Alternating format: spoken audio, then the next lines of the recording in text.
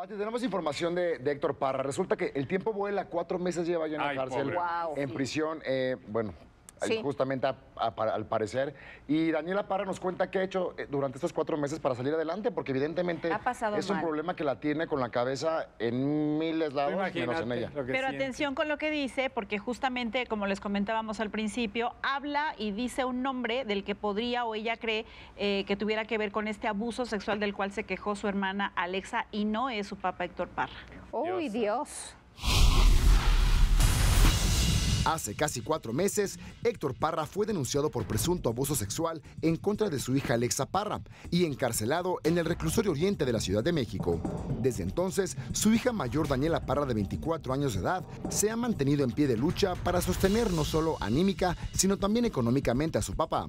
Sin embargo, ella misma se ha sentido al borde del precipicio, al grado de tomar terapia para sobreponerse y así lo compartió en exclusiva con Ventaneando.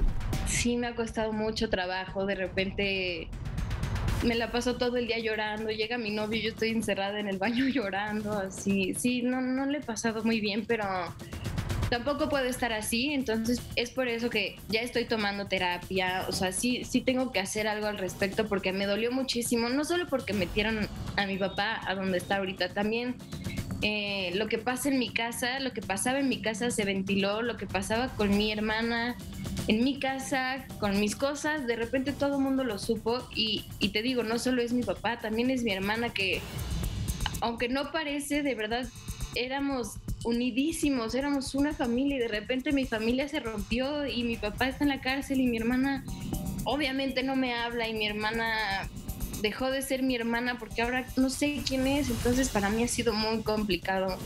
Eh, yo estoy entre la espada y la pared, la verdad. Aunque ha intentado contactar a su hermana Alexa, no lo ha logrado. Desde hace mucho, mucho tiempo he tratado de comunicarme con Alexa para saber, de verdad, saber algo, porque no sé nada de lo que pasa en su vida, pero nunca me ha contestado. Siempre, hasta le, he mandado mensajes de otras cuentas para que lo lea y para que me conteste y no.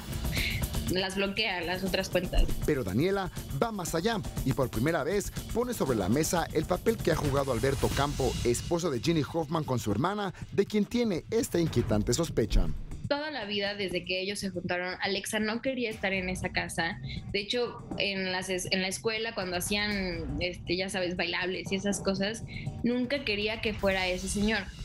Y ahora resulta que es como su papá y la ha cuidado todo el tiempo cuando antes ni siquiera lo podía ver. Entonces, eh, a mí me resulta muy extraño que hasta el día de hoy el señor ni siquiera ha dado la cara como responsable de, Alexa y esposo de la señora.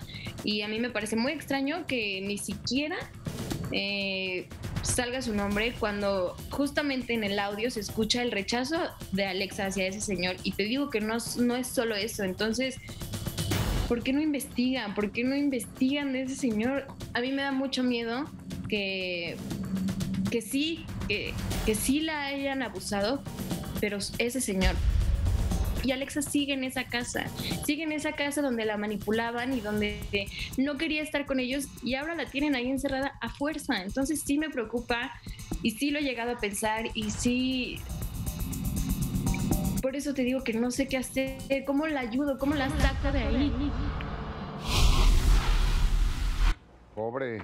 Desde luego, si todo, esto- es si todo esto que dice esta niña es cierto, pues en algún momento Alexa se dará cuenta. Claro. Y todo eso se les va a revertir en contra, Así si es. es. cierto, Sí. de la mamá y del padrastro. Sí. Porque no puede ser, o sea, porque lo Sí, que está Pedro. diciendo esta niña es muy, es mi- hasta lógico. Pero Sí. Daniela, mientras tanto, también quiere ayudar a su hermana Alexa. O sea, también dice, sí metiste a mi papá Pero a la Alexa no cárcel. se quiere dejar. Pero yo quiero ayudarte en caso de que este hombre es el que te está Violentando. atacando. ¿Qué Sí, hago? porque además esto le va a reventar en la cara el día de mañana de una manera muy fuerte. Muy Pobre. Por lo pronto, estos cuatro meses que pidió el, el abogado de Héctor para que se extendieran para que la investigación se amplíe y ellos tengan pruebas que mostrar, pues siguen corriendo. Vamos a esperar a ver qué pasa en esta audiencia que ha sido tan esperada, pero todavía no tiene lugar, ¿no? Sí, pero cuatro meses encerrado. Sí, pues sí, ni Qué fuerte. Los espectáculos tienen un nombre, Ventaneando. Tenemos para ti las mejores exclusivas Nuestros programas completos. y contenido que no ves en televisión y que hemos creado especialmente para ti. ¿Y tú ya eres parte de nuestra familia en YouTube? ¿Qué esperas?